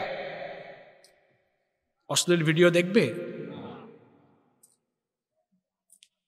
আমি আপনি আল্লাহর চোখের সামনে আসি না নাই। আরও জোরে বলেন। আল্লাহকে ফাঁকি দেওয়া সম্ভব? এগুলা কি? এগুলা কি? ক্যামেরা দিয়ে ভিডিও হচ্ছে না? সিসিটিভি চিনেন নেই আচ্ছা আপনার সাথে যদি সিসিটিভি একটা ফিট করা থাকে, আর যদি বলা হয় সব আপনার সব কিছু দেখা হচ্ছে, আপনি কোনোদিন খারাপ কাজ করবেন? এই সিসিটিভি বানাইছে কে? বাপরে বাপ, সিসিটিভি বানাইছে কে? মানুষ। এই সিসিটিভি বানানোর জন্য মানুষের মাথায় জ্ঞান দিছে কে? আল্লাহর দেওয়া জ্ঞান দিয়ে মানুষ যদি সিসিটিভি বানাইয়া সব জিনিসকে দেখাইতে পারে, ওই আল্লাহ বুঝি আমার আপনার জন্ম থেকে নিয়ে মৌত পর্যন্ত সব জিনিস আল্লাহ দেখার জন্য আল্লাহ সিসি ক্যামেরা ফিট করে রাখেন নাই? তো মা বাপকে ভয় করে, যুবক, তুমি যদি অশ্লীল ভিডিও না দেখো, তোমার আল্লাহকে ভয় করে, তুমি কি এইসব ছাড়তে পারো না? আল্লাহর ভয় কি তোমার মাঝে নাই? আল্লাহর ভয়টা নিজের মধ্যে কেমনে ডেভেলপ করা দরকার, শোনেন। এই যে এখন আমরা বাড়িতে যাব, আব্বু আব্বুর রুমে ঘুমাবে। আম্মু আম্মুর রুমে ঘুমাবে, ভাইয়া ভাইয়ার রুমে, আপু আপুর রুমে ঘুমাবে। আপনি হয়তো আপনার রুমে ঘুমাচ্ছেন। মনে মনে ভাবছেন, এখন আমার আব্বু, আম্মু পরিবারের সবাই ঘুমায়, আমি ইচ্ছা মতো মোবাইলে যা মন চায় তাই দেখব। আপনি হয়তো ভাবছেন, ওই অন্ধকার রুমে বন্ধ দরজার ঘরে আপনি যা মন চায় তাই করবেন, কেউ দেখছে না। কলিজার টুকরা ভাইরা বলেন তো দেখি, কেউ যদি নাও দেখে, একজন সব দেখেন, তিনি কি? এই ফেতনার জামানায় নিজের ইমানকে বাঁচিয়ে রাখবেন কেমনে? তাকুয়া দিয়ে, কি দিয়ে? আরও জুড়ে বলেন, কি দিয়ে? তাকুয়া দিয়ে। এই জামানাটা বড় ভয়ঙ্কর জামানা। সুদের জামানা, ঘুষের জামানা। নবীজি বলেছেন, শেষ জামানায় গান বাজনা বেড়ে যাবে। গান বাজনা শুধু আমাদের দেশে না, এখন নবীর দেশেও শুরু হয়ে গেছে। দেখেন নাই আমাদের দেশের এক লোক অমরা করতে গিয়া গুমরা হয়ে গেছে। মানুষ অমরায় যায় পবিত্র হওয়ার জন্য, সে উমরায় গিয়ে আরও গুমরা হয়েছে কিছুদিন আগে আপনারা দেখেছেন। অমরা টমরা কইরা এরপরে তারপরে ওখানে কনসার্ট হয়েছে আর আমার দেশের কিছু প্রবাসী বাংলাদেশি, তারা সেখানে কনসার্টের আয়োজন করেছে। নবীর দেশে যেই বেজ্জতির কাজ হয়েছে, যেই নবী এসেছেন গাছ গান বাজনাকে দুনিয়া থেকে নিশ্চিন্ন করার জন্য, সেই নবীর দেশে এরকম গান বাজনা করে নবীর দেশে নবীর সঙ্গে এরা ব্যাদবি করেছে। করো, এখনও সময় আছে। নইলে নবীর সঙ্গে যাবে আদবি হয়েছে, এই পরিণামে দুনিয়া আখেরাত তোমাদের ধ্বংস হয়ে যাবে। যুবক ভাইরা, গান বাজনায় নিজেদেরকে ভাসিয়ে দিও না। শুনতেই যদি মন চায় আল্লাহর কালামের তেলাবাদ শোনো, কোরআনের তফসির বেশি বেশি শোনো। ইউটিউব, ফেসবুক, এগুলোকে ইসলামের কল্যাণে কাজে লাগাবার সুযোগ আছে না নাই? ফেসবুকে প্রতিদিন কোরআন, হাদিস এগুলো লিখে পোস্ট করো, ভালো ভালো লিখা লিখো। ইউটিউবের মধ্যে ভালো ভালো ভিডিও দেখো। সুযোগ থাকলে এই যে ইউটিউবার ভাইরা ক্যামেরা নিয়ে নায়ক, নায়িকার পেছনে ছুটতে পারতো। কিন্তু তারা সেটা না করে আলেমুল আমাদের ইসলামিক স্কলারদের বক্তব্য ধারণ করে, কোরআনের হাফেজদের তেলাবাদ ধারণ করে, তারা প্রচার করে, তারাও কিন্তু দায়ী ইলাল্লাহর ভূমিকা পালন করছে। যার যার জায়গা থেকে সবাইকে দায়ী হয়ে যেতে হবে। যার একটা ফেসবুক আছে, যার একটা ফেসবুক আইডি ফেসবুক পেজ আছে, সে তো একটা চ্যানেলের মানে। কারণ আগে কোনো কিছু সম্প্রচার করার জন্য সংবাদ সম্মেলন করা লাগতো। এখন নিজের ফেসবুক আইডিতে লাইভে এসে সব মানুষের সাথে শেয়ার করা যায়, অসুবিধা? তাইলে এটাকে আমরা ইসলামের বিপক্ষে না লাগিয়ে ইসলামের পক্ষে কাজে লাগানো দরকার আছে না নাই? যুবক ভাইদেরকে বলছি, ফেতনাময় এই জামানা ঘর থেকে বের হইলেই বিজ্ঞাপন আর বিজ্ঞাপন। পত্রিকা মানুষ হাতে নিয়ে পড়ার জন্য সেখানেও বিনোদন পাতা আছে না নাই? ইমান বাঁচিয়ে রাখা বড় কঠিন এই জন্য নবীজি বলেছেন, শেষ জামানায় আমলের চাইতে ইমান রক্ষা করা কঠিন হবে। চোখের জেনা, কানের জেনা, মুখের জেনা সব কিছু থেকে নিজেকে হেফাজত রাখতে হবে। যুবক ভাইয়েরা, খবরদার, চক্ষুটাকে রাস্তায় চলার সময় নিম্নগামী করে রাখেন। কারণ পর্দার আয়াত মহিলাদের জন্য নাজিল হওয়ার আগে পুরুষের জন্য আগে নাজিল করেছেন কি? আল্লাহ বলেছেন কুল্লিল মুমিনিনা ইয়াগুদ্দু মিন আবসারিহিম। আল্লাহ বলেছেন, নবী, আপনি মুমিন পুরুষদেরকে বলেন, তারা যেন চক্ষুটাকে নিম্নগামী করে রাখে। আদেশটা কার? কিন্তু তোমরা অনেকে তো আছো যুবক, তরুণ ভাইরা, ছাত্ররা তোমরা দেখা যায় গার্লস স্কুল আর মহিলা কলেজের সামনে মিসকিনের মতো দাঁড়ায় থাকো। মহিলাদের, মেয়েদের পেছনে কোনোদিন হাইটিও না, মেয়েদের পেছনে হাঁটা। এটা কখনো মুমিনের স্বভাব হতে পারে? বরং মেয়ের বাপকে তোমার পিছনে ঘুরাও। কোন নবী, নবীদের চরিত্র কেমন দেখেন? নবীদের পেছনে মেয়ের বাপ দৌড়াইছে। কিচ্ছা একটা মনে পড়ছে, বলব? হুম? নবীর পেছনে কে দৌড়াইছে, মেয়ের? মুসা নবীর নাম শুনছেননি? নরম না গরম? এমন গরম ফেরাউনের বংশের একটারে থাপ্পড় দিয়েই শেষ। খালি কি ফেরাউনের বংশের মারছে? মালাকুল মূত্রও থাপড়াইছে সুমান আল্লাহ পড়বেন না? মুসা নবী কারে থাপ্পড় মারছে? মালাকুল মূত্র সুদ্ধা মারছে। বলব বলব? হ্যাঁ, মালাকুল মৌত আসছে। মুসানবী বলেন তুমি কে? আমার চিনেন না। আমি মালাকুল মৌত কেন আসছো? কয়, আপনার জান কবুতার জন্য আসছো কয়, আয়। মারছে এক থাপ্পড়, ফালাম্মা জাআহু সাক্কাহু বুখারীর হাদিস। একদম চোখের উপরে থাপ্পড় মেরেছেন মালাকুল মৌত এক থাপ্পড় খাইয়া গেছে কার কাছে? গিয়া কয়, আল্লাহ, আরসালতানি ইলা আব্দুল্লাহ ইউরিদুল মাউত। এমন একজনের কাছে আমারে পাঠাইছে, হে, মরতে চায় না। গেছিলাম, উনারে মারতাম। জান কবজ করতাম, উল্টা আমারে মেরে ফেলছে। আল্লাহ বললেন, যাও আমার নবী মুসার কাছে গিয়ে বলো তিনি যদি আরও হায়াত চান, একটা ষাঁড়ের পিঠের উপরে তিনি যেন হাত রাখেন। তার হাত দিয়ে যতগুলো লোম ঢাকতে পারবেন, প্রত্যেকটা লোমের বিনিময়ে আমি তাকে এক এক বছর করে হায়াত বাড়িয়ে দেব। মুসানবীর বুদ্ধিও কম না বেশি। এই মালাকুল মত ওই হায়াত যখন শেষ হবে তখন কি হবে? এরপরে আপনারা জাওন লাগবো। ওই জাওন যেহেতু লাগবে এখানে নিয়ে চলে যাও, সুবহানাল্লাহ। তো মুসানবীর কথা বলছিলাম। মুসানবী যখন ফেরাউনের বংশের এক লোককে একটা থাপ্পড় দিয়ে বিদায় করে দিয়েছিলেন, ফেরাউন তখন গ্রেফতারি পরোয়ানা জারি করেছিল। আল্লাহ তালা মুসানবীকে বললেন, মিশর ছেড়ে হিজরত করো। মুসানবী মেশর, এবার মিশর থেকে তিনি চলে যেতে লাগলেন। দৌড়াতে দৌড়াতে দৌড়াতে দৌড়াতে তিনি মাদিয়ানে গেলেন। মাদিয়ানের একটা কুয়ার কাছে চলে গেলেন। মাদিয়ানের কুয়ার কাছে গিয়ে তিনি বসে রইলেন। হঠাৎ করে দেখলেন তিনি দেখলেন দুইটা যুবতী মেয়ে পশুর পাল নিয়ে দাঁড়িয়ে আছে বহুক্ষণ ধরে। তিনি গিয়ে বললেন, বহুক্ষণ ধরে দেখলাম তোমরা দাঁড়িয়ে আছো। কি ব্যাপার? ওই দুই যুবতী মেয়ে বলল আমরা আমাদের পশুর পালকে কুয়া থেকে পানি পান করাবো। কিন্তু এই লোকেরা যারা আছে, এই পুরুষ মানুষটা শেষ করার পরে আমরা তারপরে যাব। মুসানবী বললেন, ঠিক আছে, আমি তোমাদের পশুর পালকে পানি পান করিয়ে দিচ্ছি। তিনি পশুর পালকে পানি পান করিয়ে দিলেন, মেয়েরা চলে গেল। মুসানবীও পিপাসার্থ ছিলেন, পানি পান করে তিনি বসে রইলেন। আর দোয়া করলেন, আল্লাহ নতুন এলাকায় আসছি, কাউরে চিনি না। এখানে আমার থাকা খাওয়ার ব্যবস্থা করে দাও, দোয়া করছেন কার কাছে?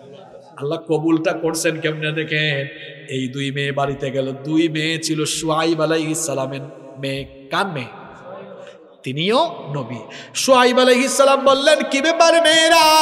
প্রত্যেক দিন তোমরা দেরি করে বাড়িতে আসো। কিন্তু আজ কেন এত তাড়াতাড়ি চলে আসলে? মেয়েরা ঘটনা শোনালো, বলল, এক যুবক আজকে আমাদেরকে সহযোগিতা করেছে, এই জন্য আমরা খুব তাড়াতাড়ি চলে আসছি। সোহাইব ইসলাম বললেন, যেহেতু এই যুবকটা তোমাদেরকে সহযোগিতা করেছে, তারে আমার কাছে ডেকে আনো, আমি তারে পুরস্কৃত করব, হাদিয়া দিব।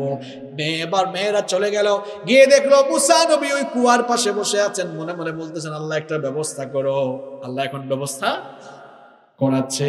এরা এসে বলল আমাদের বাবা আপনাকে ডেকেছেন, তিনি আপনাকে পুরস্কৃত করতে চান। মৌসা নবী তখন বললেন, মনে হয় আমার দুয়াটা আল্লাহ কবুল করে ফেলছেন।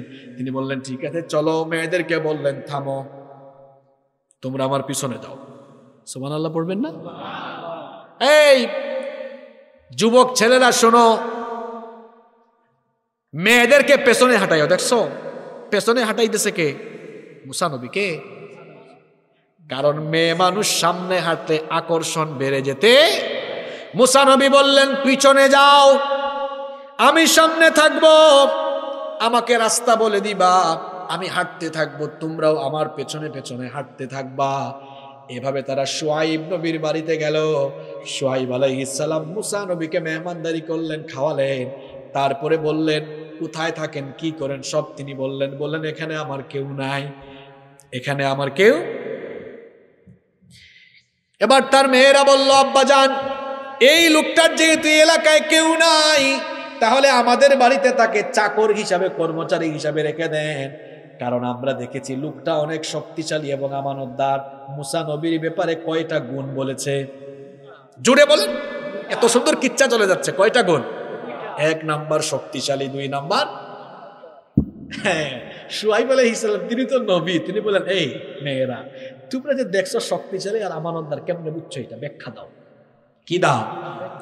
মেয়েরা তখন বলল, আব্বা যান ওই যে পানির কুয়া, এই কুয়ার উপরে যে ঢাকনা আছে, এই ঢাকনাটা সরাতে কয়েকজন শক্তিশালী পুরুষ মানুষের দরকার। কিন্তু দেখলাম এই লোকটা এই ঢাকনাটা বাম হাত দিয়ে এক ধাক্কায় একাই সরিয়ে দিয়েছে। আল্লাহ আকবার। এখনকার যুবকগুলা হয় মরা মরা। মরা মরা তো থাকবেই। খানা দানা ঠিক নাই, ঘুম ঠিক নাই। যুবক যুবকের মতো হওয়া লাগবে, ঠিক কিনা? না সোয়াইব আলাইহিসসালাম বলেন, বুঝলাম শক্তিশালী, আমানতদার কেমনে বুঝলা? কয়, ওই যে গিয়েছিলাম আনতে, আমাদের সামনে হাঁটে নাই, এত লজ্জাশীল তো আমানতদার, আমাদের দিকে তাকায় নাই, নিচের দিকে তাকিয়ে কথা বলেছে। সোয়াইব নবীর পছন্দ হয়েছে, বললেন, মেয়েরা, শোনো, তারে চাকর হিসাবে রাখব না, তোমাদের একজন না দুইজন রে বিয়া দিয়া জামাই বানাইয়া বাড়িতে রাইখা দিব। সুবানাল্লাহ তো কইলেন এবার বলেন আমারে সোয়াইব আলাইহিসসালাম মেয়ে বিয়ে দেওয়ার সময় টাকা পয়সা দেখছে? আরও জুড়ে টাকা পয়সা দেখছে? ক্ষমতা? গাড়ি? বাড়ি? দেখছে চরিত্র কি দেখছে? আপনারা কিতা দেখেন? কিতা দেখেন? টাকা। গাড়ি আসেনি। বাড়ি আছে? টাকা আছে? এগুলা দেখেন দেখেন না ছেলেটা নামাজি কিনা। দেখেন না ছেলেটার মুখে দাঁড়িয়ে আছে কিনা? দেখেন না ছেলেটা হালাল উপায় ইনকাম করে কিনা? এগুলো না দেখে টাকাল লুভে পরে বিয়ে দেন বলে দেখা যায় মেয়েটার কপাল পুরে ছাই হয়ে যায়। ঠিক করছে। লুভে পড়ে বিয়ে দিয়েন না। অল্প বেতন অল্প। ছেলেটা নামাজি। ছেলেটা দিনদার। টাকা পয়সা নাই তো কি হয়েছে রিজিকের মালিককে। মেয়েটারে বিয়ে দিয়ে দেন। দেখবেন মেয়েটা সুখে শান্তি থাকবে ইনশা আর শোনেন, যে সকল ছেলেরা প্রতিষ্ঠিত হয়ে বিয়ে করে, রাগ করেন না? বলব, প্রতিষ্ঠিত হয়ে যারা বিয়ে করে, বউয়ের সাথে এরা খুব একটা আন্তরিকতার আচরণ করে না, কারণ তার সব আছে। আর প্রতিষ্ঠিত হওয়ার আগে যে ছেলে বিয়ে করে, ওই ছেলেটার প্রতিষ্ঠিত হওয়ার পেছনে তার বউয়ের সবচেয়ে বেশি অবদান থাকে। কারণ তার বউ তাকে সাপোর্ট দেয়। তার বউ তার অর্ধাঙ্গিনী হয়ে যায়। ঘরের কাজে মেন্টালি সাপোর্ট দিচ্ছে, সব জায়গায় সাপোর্ট দেওয়ার কারণে। ওই পুরুষ মানুষটা কখনো তার বউয়ের কথা সে ভুলে যেতে পারে? ইসলাম বলে, আগে বিয়ে করো, তারপরে প্রতিষ্ঠিত হও। আর আমরা বলি, তুই আগে নিজের ভাইয়ে দাঁড়া। তো হেতে কি মানুষের ভাইয়ে দাঁড়াই আছেন? যুবক ছেলেরা, আপনাদের তো আলহামদুলিল্লাহ পড়ার কথা। এই বাংলাদেশের বাবা মায়েদের আলহামদুলিল্লাহ পড়ার কথা।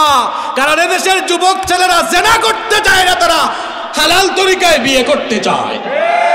আপনারা কি করছেন? বিয়েটারে কঠিন বানাই ফেলছেন। লক্ষ লক্ষ টাকা মোহরানা।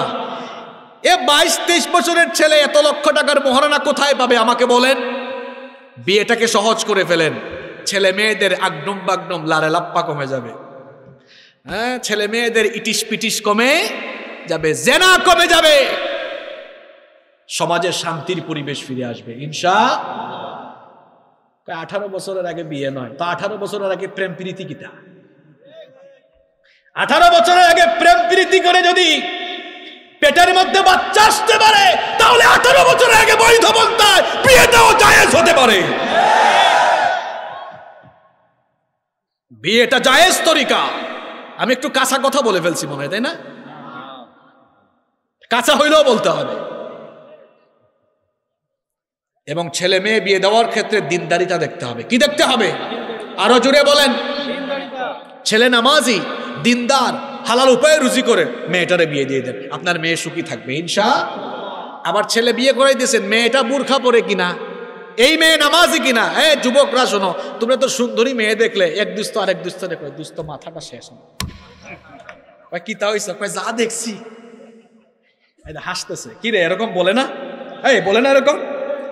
আইসা কয়, হায় হায়, যা দেখছি রে ভাই। কয়, কি তা দেখছ? কয়, আর বলিস না, যা দেখছি, জীবনেও দেখি নাই। খালি সুন্দরী মেয়ে দেখে দৌড়াইও না। যে মেয়ে বিয়ের আগে বুর্খা ছাড়া তার সৌন্দর্য দেখায় ওইটা কিন্তু প্যাকেট করা কলা না এটা ছিলানো কলা। প্যাকেট করা কলার দাম বেশি ছিলানো কলা কেউ নিয়ে বসলে ওইটা কেউ কিনবে। এজন্য আমার বোনদেরকে বলব কলেজ পড়ুয়া বিশ্ববিদ্যালয় পড়ুয়া বোনটা কি আসছেন ও তাহলে তো এই কথা বলার দরকার আছে। বোনদেরকে বলব, পর্দা করবেন বুর্খা পরে বের হবেন।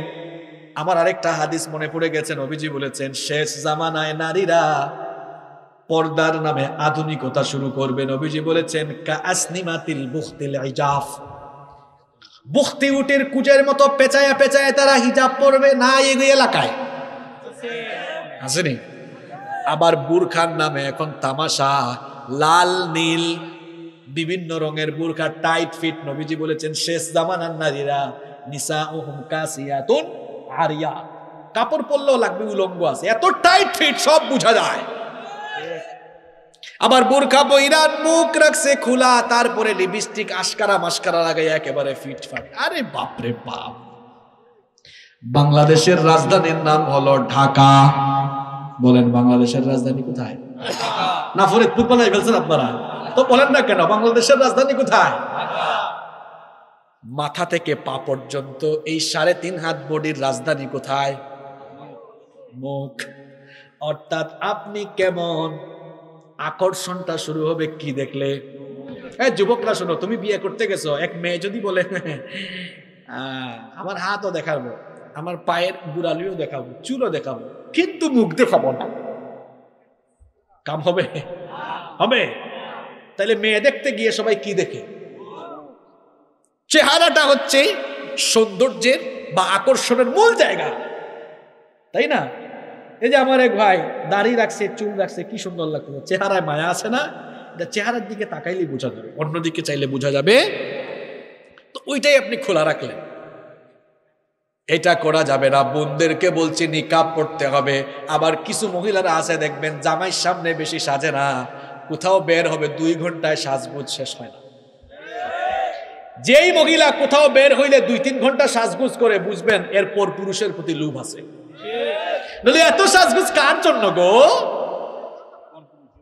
হ্যাঁ? এত সাজগুজ কার জন্য করেন গো? হ্যাঁ তিন ঘণ্টা লাগে সাজগুজ করতে। দেখবেন কিছু মহিলা বের হইতে হাজবেন্ডকে বলতেছে, হইছে হইছে, চলো তো। কয়, আরেকটু বসো আশকারা বাকি। কিছুক্ষণ পর আসছে আরেকটু বসো, মাস্কারা বাকি। কয়, লাল নীল লিপস্টিক লাগে আসেনি। হাজবেন্ডের সামনে না সাজগুজ করবে? সে বাহির হওয়ার সময় কেন সাজগুজ করবে? বাহির হওয়ার সময় পর্দা করে তাকে বের হওয়া লাগবে।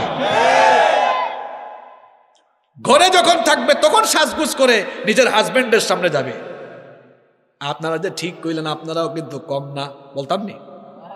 বউয়ের সামনে থাকে কামলা বেডার মতো। আর যখন বাইরে যায় মার্কেটিং এ যায় ইচ্ছা? অবস্থা।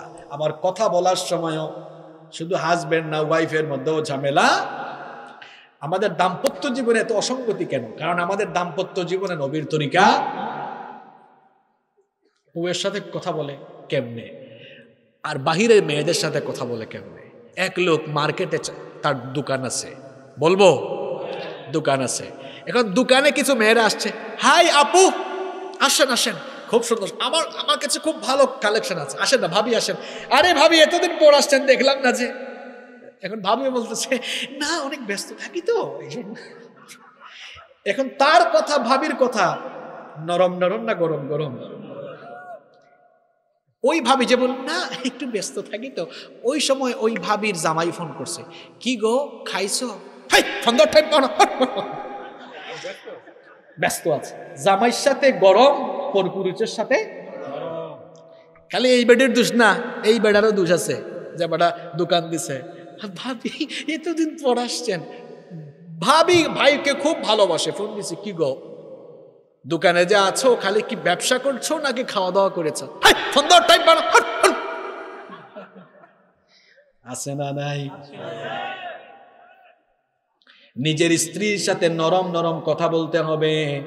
ঠিক তেমনি আমার বোনরা যারা এসেছেন, নিজের হাজবেন্ডের সাথে অ্যাট্রাকটিভ এবং রোমান্টিক কথা বলতে হবে। নবীজি বলেন নাই। হ্যাঁ? নবীজির মতো রোমান্টিক আপনারা কয়জন? নবীজি ঘরে এসে আচ্ছা বাংলা ভাষায় বলি, আপনার বউয়ের নাম আছে একটা, আপনি এসে বলতেছেন, কই গো লালমণি, লাল টুকটুকি? সোমান আল্লাহ পড়বেন না? নবীজি আরবিতে বলেছেন আর কি। বাংলা ভাষা হইলে নবীজি এভাবেই বলতেন কই গো আমার লাল টুকটুকি বউ? নবীজির ভাষা বাংলা না আরবি? এই জন্য আরবিতে বলছেন হোমায়রা। কি বলেছেন? হোমায়রা মানে কি? লাল টুকটুকি বউ। আপনারা কোনোদিন বলেন বউকে? এই তুমি কোথায়? এই এদিকে আয়। গ্রামে গঞ্জে অনেকে বউকে তুই করে ওটাকে আচ্ছা সেটা মায়ার ডাক হলে আমার কোনো অসুবিধা বউয়ের সাথে সুন্দর করে কথা বলবেন সুন্দর করে ডাকবেন। একসাথে বসে খাবেন। নবীজি স্ত্রীর সাথে একসাথে বসে খাইতেন। আব্বা জান আইসা বলেছেন, আমি যখন হাড্ডি চাবাতাম, তখন আমার নবী আমার হাত থেকে কেড়ে নিয়ে যেখানে আমি ঠুট লাগায় খেতাম, ওখানে আমার নবী খাওয়া শুরু করতেন। এখন তো আপনাদের গ্লাসও আলাদা হাজবেন্ড ওয়াইফের গ্লাসও আলাদা। আর নবীজি, আম্মা জান আয়েশা রাদিয়াল্লাহু আনহা যেই গ্লাসে, যে জায়গায় ঠোঁট লাগাইয়া পানি পান করতেন নবীজি ওই জায়গায় ঠোঁট লাগাইয়া পানি পান করতেন। আম্মা জান আয়েশা রাদিয়াল্লাহু আনহা বলতেন, আমি দুনিয়ার শ্রেষ্ঠ নারী। কারণ আমার কুলে মাথা রেখে রাহমাতাল্লিল আলামিন দুনিয়া থেকে চলে গিয়েছেন। শুধু তাই নয়, আমি কত সৌভাগ্যবতী শুনেরাও দুনিয়ার মানুষ, আমার মুখের লালা খেয়ে খেয়ে নবীজি দুনিয়া থেকে গিয়েছেন? এই ঘটনাটা জানেন আপনারা? নবীজি সাল্লাল্লাহু আলাইহি ওয়াসাল্লাম দুনিয়া থেকে চলে যাওয়ার আগে কিছুক্ষণ আগে বললেন, আয়েশা আমার মেসওয়াক করতে মন চাইছে। মেসওয়াকটা হলো নবীজির দুনিয়া থেকে যাওয়ারও আমল। আপনারা মেসওয়াক করেন তো? মেসওয়াক করেন? সব সময় মেসওয়াক করবেন, পকেটের মধ্যে মেসওয়াক রাখবেন, পাঁচ ওয়াক্ত নামাজের আগে মেসওয়াক করবেন। এটা নবীজির সুন্নত। তিনি দুনিয়া থেকে যাওয়ার আগেও মিসওয়াক করেছেন। ঘটনাটা শোনাই বলছেন আয়সা গো, আমি একটু মিসওয়াক করব, আমাকে কি একটা মিসওয়াকের ব্যবস্থা করে দিতে পারবা নাকি? আম্মা জান, আয়েশা রাদিয়াল্লাহু আনহা একটা মিসওয়াক আনলেন। মিসওয়াক যারা ব্যবহার করেন, দেখবেন ইনটেক মিসওয়াক যখন থাকে ওটা শক্ত না, প্রথমে থেকে কি করতে হয়? চাবাইয়া নরম করতে হয়। আম্মা জান, আয়েশা রাদিয়াল্লাহু আনহা তার মুখে নিয়ে চাবাতে লাগলেন। কোনো কিছু চাবালে সেটার মধ্যে মুখের লালা লাগে কিনা?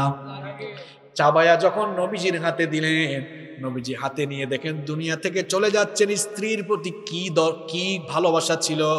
নবীজি বলেন আয়সা মেসওয়াকটা করি পড়ে, তোমার মুখে লালাগুলো চ-" এই পরকিয়া সমাজে বাড়ছে কেন? কারণ হাজব্যান্ড ওয়াইফের সম্পর্কের ঘাটতি আছে না নাই? এই ঘাটতিগুলো যদি দূর করা যায়, একজন আর একজনকে যদি সম্মান করে, আন্তরিকতা দিয়ে কথা বলে, ভালোবাসার সম্পর্ক যদি মজবুত থাকে, সম্পর্কে বরকত দিবেন যিনি তিনি কি? তাকে অবলম্বন করে চলবো শেষ জামানায়। এই ভয়ঙ্কর সময়ে আমলের চাইতে ইমানটাকে বাঁচিয়ে রাখার জন্য তাকে অবলম্বন করব। কি অবলম্বন করব? সবসময় কারে ভয় করব? আল্লাহ তৌফিক দান করে আল্লাহ তাকুয়ার গুণ দিয়ে আমাদেরকে গুণান্বিত করে দেন। যত কথা বললাম, আল্লাহ আমাদেরকে আদেশ করার আল্লাহ আমাদেরকে সেগুলো পালন করার তৌফিক দান করেন।